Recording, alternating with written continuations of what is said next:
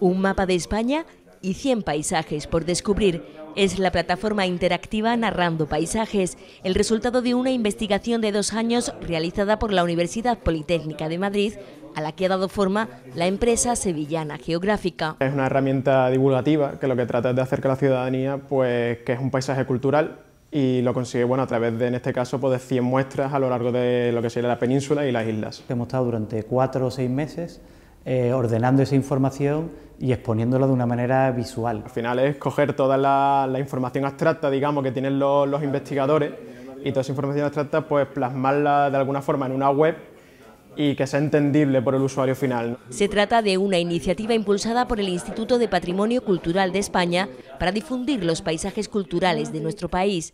Lo hacen a través de vídeos, fotografías, mapas y artículos académicos con los que se muestran su evolución a través de los siglos. Se trata de que haya muchos, muchos recursos dinámicos ¿no? y que sean muy muy atractivos para, para, para, la persona normal, para el ciudadano, para el que no es experto en el, en el tema. Pero nos ha quedado claro qué es un paisaje cultural. Es un espacio, un territorio en el que tiene un valor que no es solo paisajístico o que no es solo valor histórico, sino que tiene una mezcla de factores que le hacen tener un valor superior. Esa relación que existe entre el medio natural y la acción del ser humano. Un proyecto que seguirá creciendo con la incorporación paulatina de nuevos materiales que nos ayudará a entender una parte importante del patrimonio histórico español.